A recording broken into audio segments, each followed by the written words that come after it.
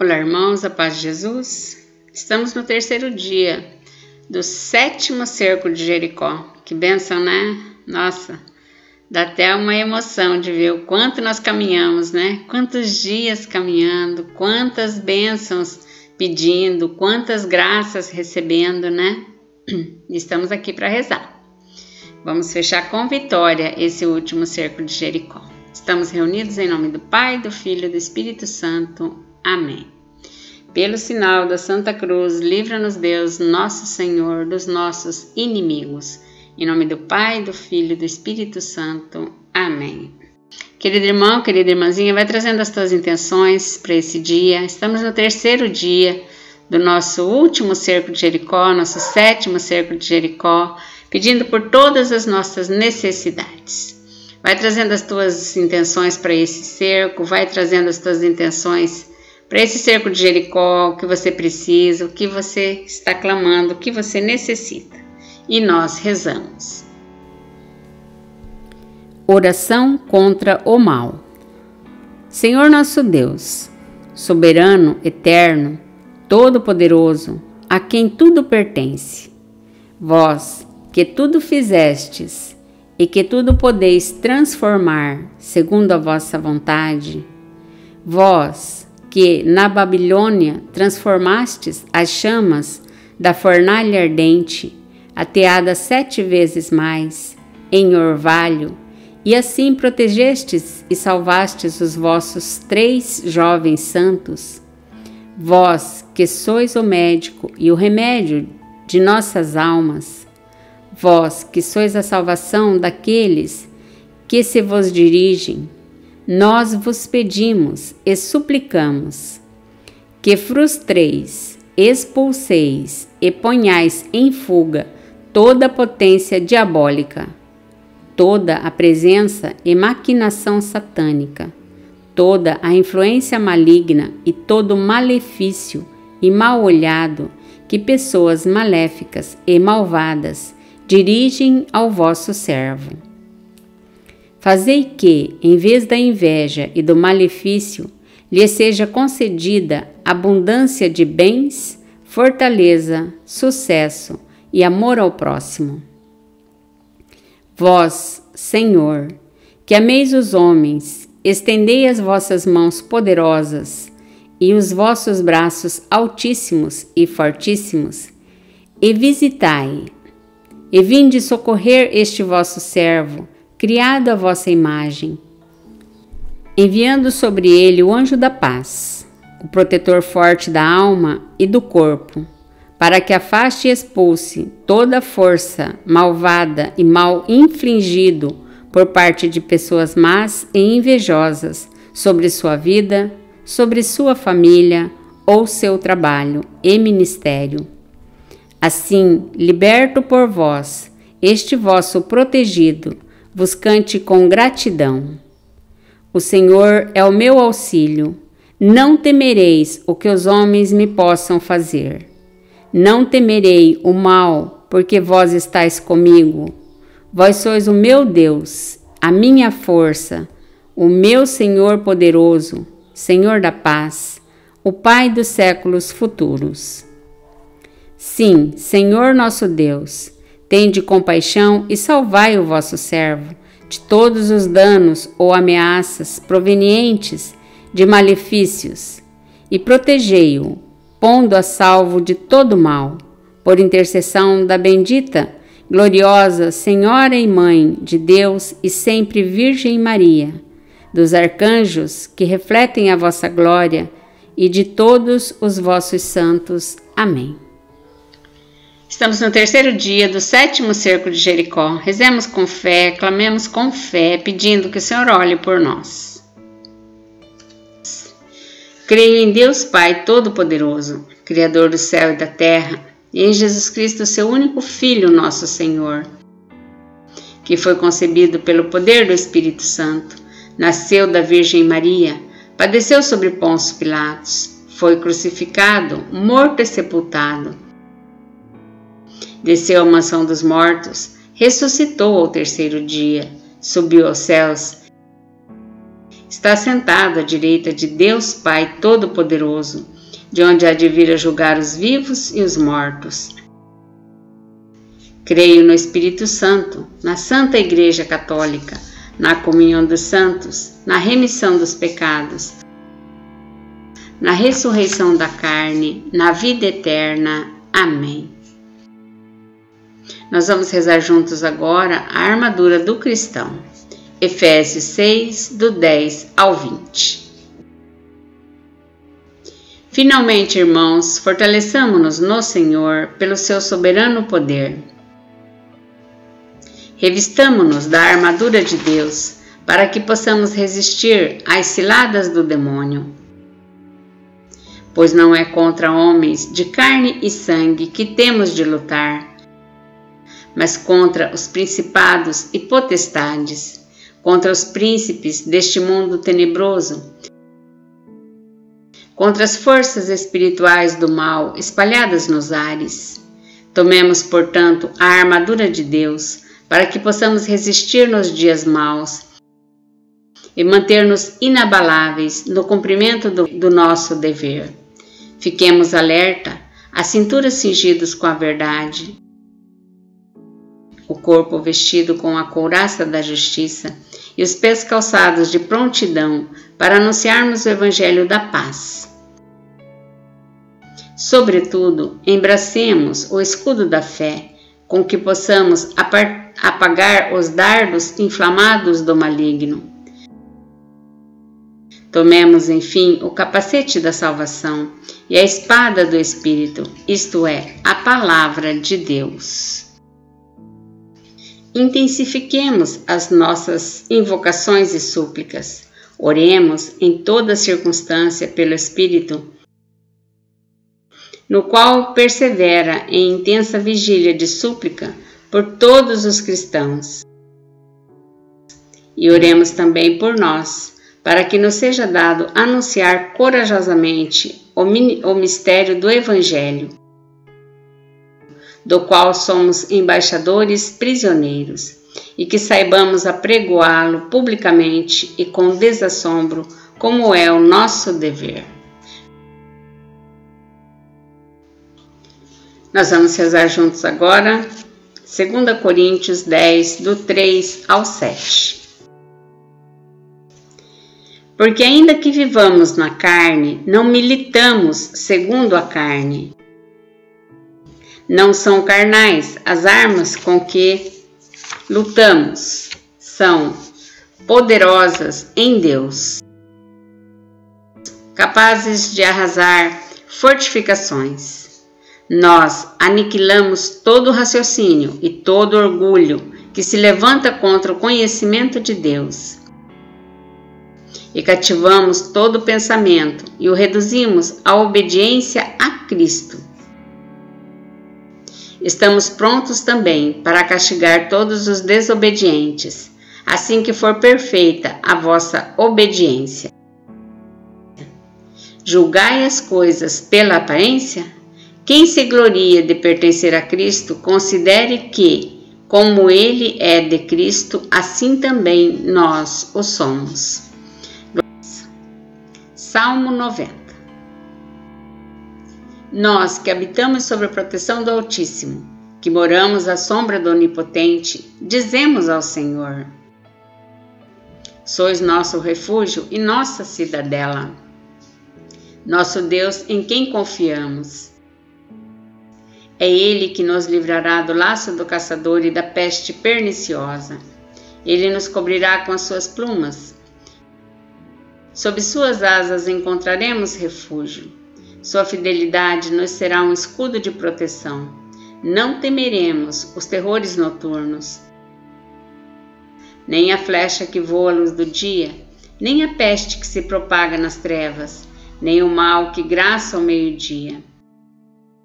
Caiam mil homens à nossa esquerda e dez mil à nossa direita, não seremos atingidos. Porém, veremos com nossos próprios olhos Contemplaremos o castigo dos pecadores, porque o Senhor é nosso refúgio. Escolhemos por asilo o Altíssimo. Nenhum mal nos atingirá, nenhum flagelo chegará à nossa tenda. Porque aos seus anjos ele mandou que nos guardem em todos os nossos caminhos. Eles nos sustentarão em suas mãos, para que não tropecemos em alguma pedra. Sobre serpente e víbora andaremos. Calcaremos aos pés o leão e o dragão, pois que se uniu a mim, eu o livrarei e o protegerei, pois conhecem o meu nome. Quando me invocar, eu os atenderei. Na tribulação estarei com eles, hei de livrá-los e os cobrirei de glória. Serão favorecidos de longos dias e mostrar-lhe-ei a minha salvação. Nós vamos fazer agora a oração bíblica, é o Magnífica. Minha alma glorifica o Senhor, meu espírito exulta de alegria em Deus, meu Salvador, porque olhou para sua pobre serva.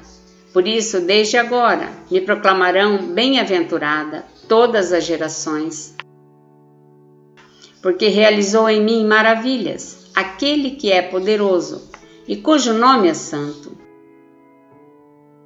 A sua misericórdia se estende de geração em geração sobre os que o temem.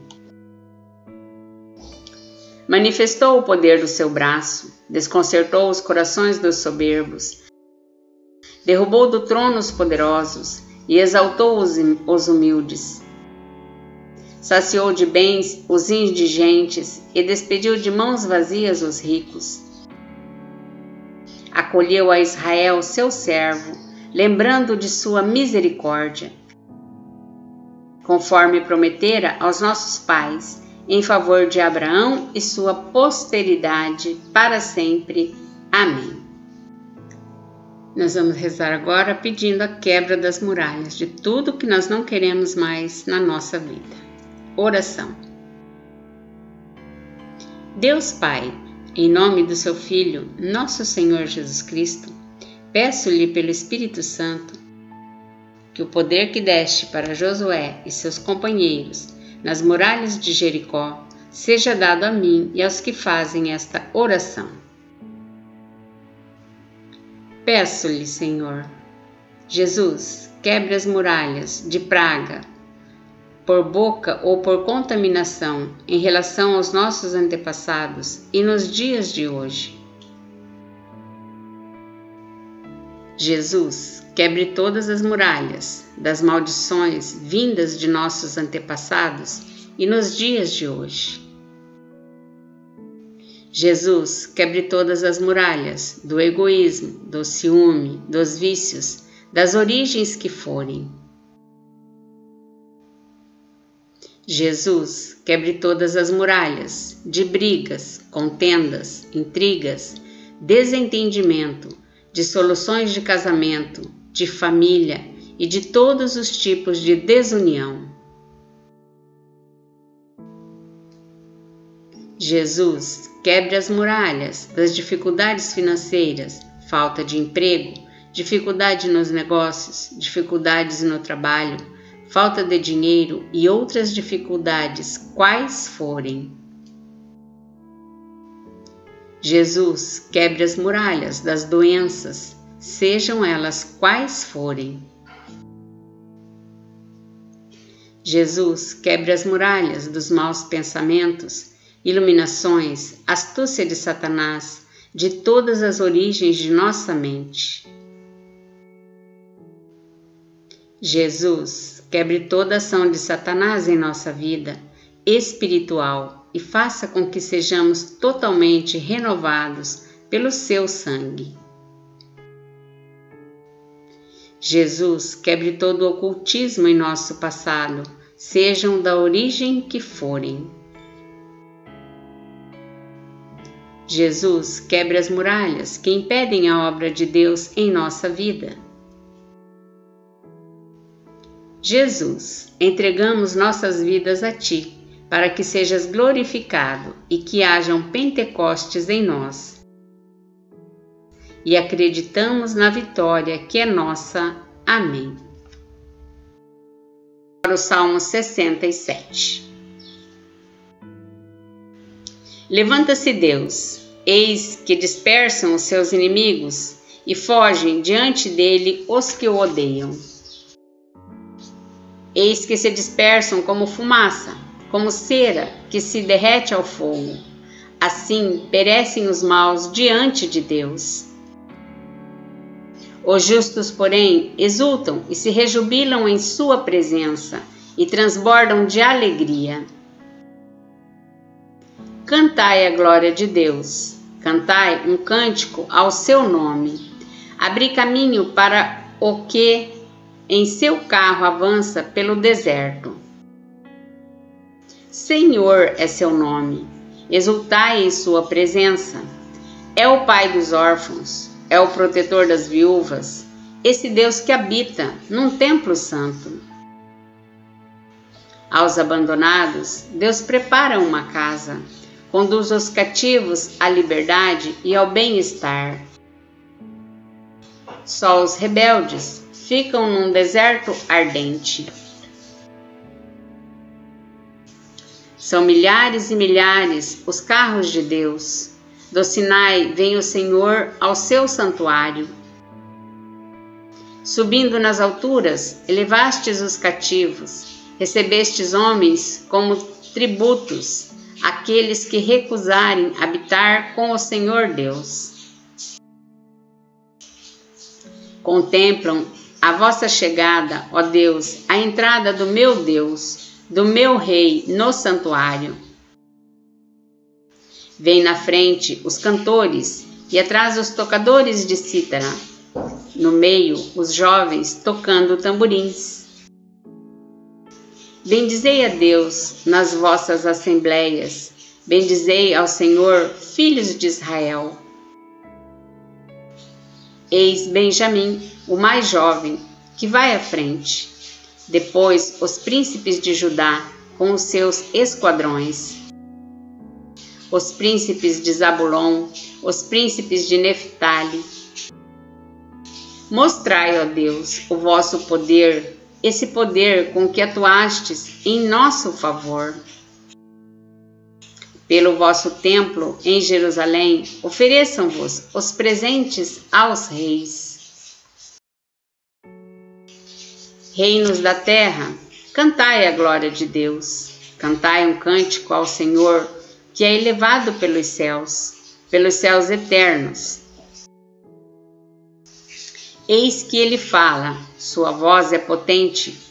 Reconheceis o poder de Deus. Sua majestade se estende sobre Israel. Sua potência aparece nas nuvens de seu santuário temível é o Deus de, é o Deus de Israel. É ele que dá ao seu povo a força e o poder. Bendito seja Deus. Amém. Oração.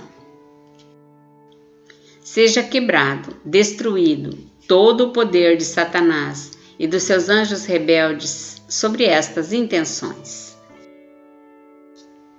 que seja quebrado, destruído, exterminado, neutralizado todo o poder do príncipe das trevas, perseguindo, prejudicando, escravizando, dominando essas pessoas, desejando a sua ruína espiritual, material, semeando ódio, mágoa, desentendimento, orgulho, fofoca, julgamento. Seja destruído, exterminado, neutralizado todo o espírito de desunião nos lares dessas pessoas, provocando a discórdia, o ódio, a mágoa, o, resse o ressentimento, o desentendimento, o orgulho, a fofoca e o julgamento. Seja também queimado, destruído, desmanchado todo e qualquer trabalho, despacho feito, escrito ou pronunciado contra estas pessoas. Seja destruído, exterminado, neutralizado todo o conhecimento anterior e atual sobre ocultismo e demais superstições. seja também queimado, exterminado, destruído e eliminado todas as moléstias, dores no corpo, problemas mentais e físicos e espirituais, opressão, perseguição diabólica sobre nós e nossa família, inclusive a rejeição de gestação. Seja queimado, aniquilado, neutralizado todo o poder do príncipe do mundo sobre nós, provocando discórdia, opressão, tristeza, depressão, angústia, solidão, pavor, desânimo, inveja, ódio, rebeldia, egoísmo, desentendimento. Vamos fazer a leitura de Josué, capítulo 6. A conquista de Jericó. Jericó, cidade murada, tinha se fechado diante dos israelitas e ninguém saía dela, nem podia entrar. O Senhor disse a Josué: Vê, entreguei-te Jericó, seu rei e seus valentes guerreiros. Dai volta à cidade, vós todos, homens de guerra, contornai toda a cidade uma vez. Assim farás durante seis dias. Sete sacerdotes, tocando sete trombetas, irão diante da arca. No sétimo dia, dareis sete voltas à cidade, tocando os sacerdotes a trombeta. Quando o som da trombeta for mais forte e ouvirdes a sua voz, todo o povo soltará um grande clamor e a muralha da cidade desabará. Então o povo tomará de assalto a cidade, cada um no lugar que lhe ficar de frente. Josué, filho de Num, convocou os sacerdotes e disse-lhes: Levai a arca da aliança e sete sacerdotes estejam diante dela, tocando as trombetas. E disse em seguida ao povo: Avante, dai volta à cidade, marchando os guerreiros diante da arca do Senhor. Logo que Josué acabou de falar, os sete sacerdotes, levando as sete trombetas retumbantes, puseram-se em marcha diante do Senhor, tocando os seus instrumentos, e a arca da aliança do Senhor os seguiu. Marcharam os guerreiros diante dos sacerdotes, que tocavam a trombeta, e a retaguarda seguia a arca. E durante toda a marcha ouvia-se o retinir das trombetas. Ora, Josué havia dado essa ordem ao povo: Não griteis, nem façais ouvir a vossa voz, nem saia de vossa boca palavra alguma, até o dia em que eu vos disser: gritai. Então clamareis com força a arca do Senhor deu uma volta à cidade e retornaram ao acampamento para ali passar a noite. Josué levantou-se muito cedo e os sacerdotes levaram a arca do Senhor. Os sete sacerdotes, levando as sete trombetas retumbantes, marchavam diante da arca do Senhor, tocando a trombeta durante a marcha. Os guerreiros precediam-nos e a retaguarda seguia, a arca do Senhor. E ouvia-se o retinir da trombeta durante a marcha. Deram volta à cidade uma vez, no segundo dia, e voltaram ao acampamento. O mesmo fizeram durante seis dias. Mas, ao sétimo dia, Levantando-se de madrugada, deram volta à cidade sete vezes, como nos dias precedentes, Esse foi o único dia em que fizeram sete vezes a volta. Quando os sacerdotes tocaram as trombetas na sétima volta, Josué disse ao povo: Gritai, porque o Senhor vos entregou a cidade.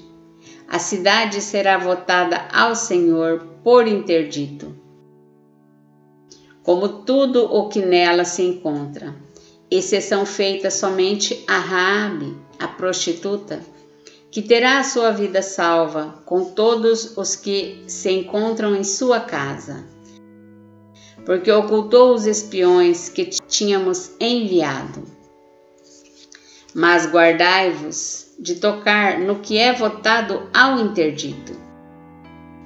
Se tornardes algo do que foi anatematizado, atraireis o intermédio sobre o acampamento de Israel, o que seria uma catástrofe. Toda a prata, todo o ouro e todos os objetos de bronze e de ferro serão consagrados ao Senhor e farão parte do seu tesouro. O povo clamou e os sacerdotes tocaram as trombetas. E logo que o povo ouviu o som das trombetas, levantou um grande clamor. A muralha desabou. A multidão subiu a cidade sem nada diante de si. Tomaram a cidade e votaram-na ao interdito passando a fio de espada tudo o que nela se encontrava. Homens, mulheres, crianças, velhos e até mesmo os bois, as ovelhas e os jumentos. Josué disse então aos dois homens que tinham explorado a terra: Entrai na casa da prostituta e fazei-a sair de lá com tudo o que lhe pertence os espiões entraram na casa e fizeram sair Rabi, seu pai, sua mãe, seus irmãos e tudo o que lhe pertencia, toda a sua parentela. E puseram-nos em seguida fora do acampamento de Israel. Queimaram a cidade com tudo o que ela continha, exceto prata, ouro e todos os objetos de bronze e de ferro que foram recolhidos aos tesouros da casa do Senhor. Josué conservou a vida de Raabe, a prostituta, bem como a da família de seu pai, a de todos os seus, de sorte que ela habitou no meio de Israel até este dia, porque ela havia ocultado os mensageiros enviados a explorar Jericó. Então proferiu Josué este juramento: Maldito seja diante do Senhor quem tentar reconstruir esta cidade de Jericó. Será o preço do seu primogênito que lhe lançará os primeiros fundamentos. E será às custas do último dos seus filhos que lhe porá as portas. O Senhor estava com Josué e o seu renome divulgou-se por toda a terra. Glória ao Pai, ao Filho e ao Espírito Santo, assim como era no princípio, agora e sempre. Amém. Tudo o que pedirdes na oração, crede que o terás recebido e ser-vos e ser-vos-á dado. Glória ao Pai, ao Filho e ao Espírito Santo, assim como era no princípio, agora e sempre. Amém.